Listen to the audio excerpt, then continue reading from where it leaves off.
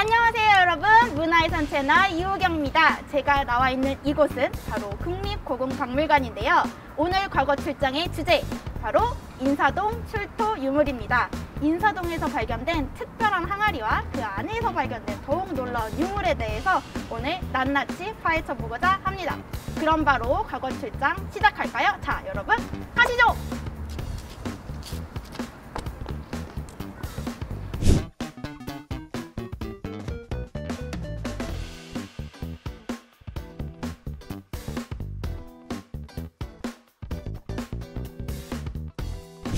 인사동 발굴 전시회에 왔는데요. 지금 제 옆에는 이상백 연구사님이 계십니다. 안녕하세요, 연구사님.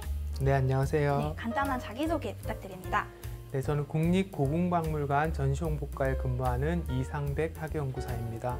제가 듣기로는 항아리에서 인사동에서 이제 항아리 유물이 발견되었고 그 안에서 활자가 발견되었다고 하는데 이게 구텐베르크 활자보다 뭐 그 이전에 조선 전기의 활자가 발견되었다고 제가 들었어요. 간단하게 소개 한번 부탁드립니다. 출토 현장에서 처음에 발굴을 하고 있다가 16세기 문화층에서 어, 그 항아리가 발견이 됐다고 합니다. 근데 아. 그 항아리 안에 있는 처음에 잔편들이 조금 나왔는데 그게 무엇인지 몰랐다가 그 잔편들을 보다 보니까 활자로 확인이 됐고 그 활자를 하나하나 더 확인을 하다 보니까 항아리가 활자로 가득 차 있었다는 것을 확인했다고 합니다. 항아리에서 활자가 발견된 게 조금 신기했어요. 항아리에서 발굴된 이유가 무엇일까요? 거기에 대해서는 정확하게 아직까지는 알 수가 없는데요. 네. 그 당시 발견되었던 그 금속 유물들이 일정하게 어, 절단이 되어 있는 유물들이 함께 나왔어요. 그리고 아마 당시에 이 금속 유물들을 네. 녹여서 무언가를 다시 재활용하지 아- 하려고 했지 않았을까 하고 추측을 하고 있는데요. 네. 어, 아직 상세한 것은 좀 더 연구를 진행해 봐야지 알 것 같습니다. 한글과 한자 두 가지 종류의 활자가 발견되었다고 하는데요. 그러면 어떤 종류, 어떤 이름을 가진 활자들이 발견되었나요? 어, 이번에 확인된 활자들은 세종대에 간- 어, 만들어진 갑인자와 세조대에 만들어진 의뢰자, 의류자 3종이 확인되었습니다. 아, 그러면 그 각각은 어떤 쓰임과 어떤 의의를 가지고 있나요?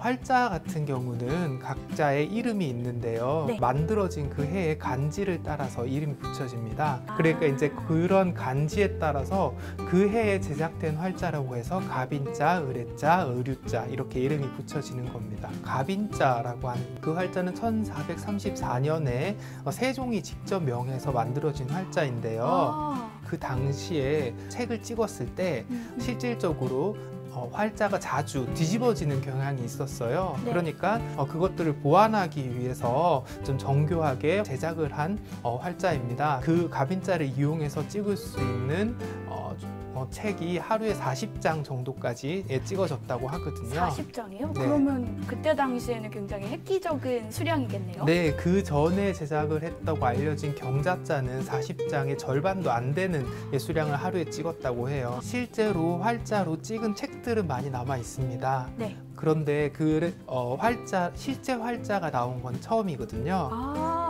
네, 그래서 연구자들이 네. 어, 책들을 어, 책에 있는 그 글자들을 하나하나 연구를 해서 활자의 모습이라던가 활자의 서체라던가 그런 것들을 추적을 해 왔었는데요. 네네. 어, 실질적으로 활자의 뒷모습 같은 경우라던가 옆모습 같은 경우는 알 수가 없었죠. 왜냐하면은 아, 서책은 그 활자를 찍은 면만 남아 있잖아요. 아, 그렇죠. 네, 그래서 이 활자들이 다량으로 출토가 되면서 활자의 모양에 대한 연구가 전면적으로 아마 다시 시작이 돼야 되지 않나라고 생각을 하고 있습니다. 아, 제가 듣기로는 조선 세종실록에도 이제 실려져 있는 여러 가지 유물들이 같이 발견 되었다고 하는데 그 중에서도 시간을 알 수 있는 유물들이 또 발견되었다고 합니다. 이게 어떤 유물이 발견되었나요? 어, 이번에 발견된 유물 중에 가장 또 중요한 유물은 일성정시라고 하는 유물입니다. 네. 낮과 밤의 시간을 모두 확인할 수 있는 주야 겸용 시계고요. 아, 세종의 명으로 제작이 된 시계입니다. 어, 그러면 낮과 밤을 어떻게 알 수 있죠?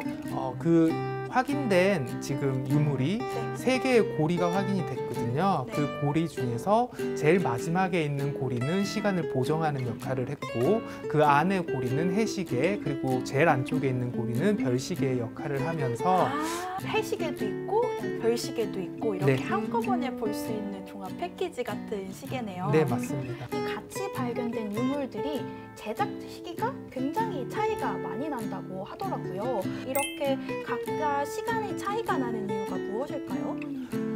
어, 거기에 대해서는 아직까지 정확하게 알 수 있는 것은 없습니다. 다만 어, 예를 들어서 총통 같은 경우 그러니까 그 조선시대의 총입니다. 총기류 같은 경우는 1588년으로 지금 제작 시기가 밝혀져 있는데요.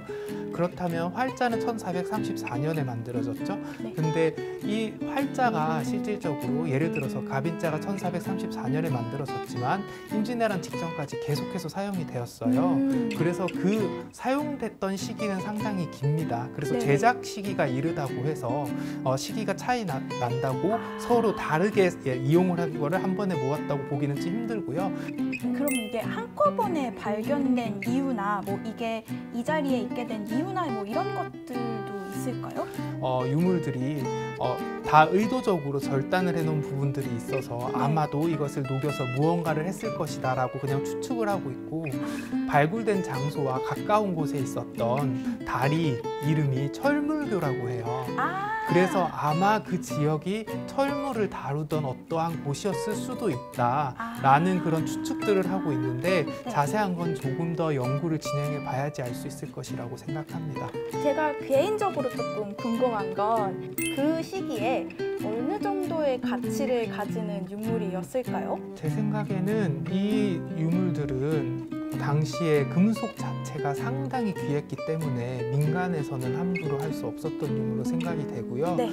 특히나 금속 활자로 당시 간행한 책들은 국가기관에서만 주로 간행이 됐었습니다. 아, 역시.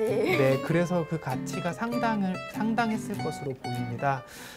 네, 오늘은 인사동 출토유물 전시관에서 연구사님과 같이 함께 인터뷰를 해봤는데요. 인터뷰를 듣다 보니 우리 조선시대의 과학기술이 굉장히 많이 발전해 있었고 제 생각보다 굉장히 뛰어난 과학기술을 가지고 있었던 걸 배우게 되었습니다. 그렇다면 문화유산 채널에서는 이후로도 이렇게 재밌는 인터뷰들을 많이 많이 준비해 둘 테니까요. 다, 다 같이 여러분들 구독과 좋아요, 알림 설정까지 꼭꼭 부탁드립니다. 그러면 다음에 과거 출장으로 다시 한번 만나봐요. 여러분들 그럼 안녕!